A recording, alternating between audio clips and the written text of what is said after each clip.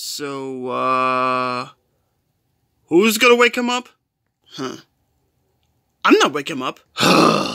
I'll do it. Come here, Cortex. Wait, what? No, no, no, no, what?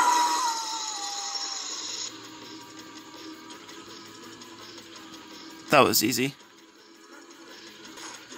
Free again!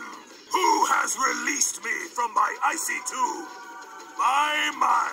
Can it be? Crash and Cortex? My brother? A cat and a dog? And seven magic ponies and a dragon I never met? And emotions I never met them too. Mighty Uka Uka! I don't know whether to kiss you or kill you!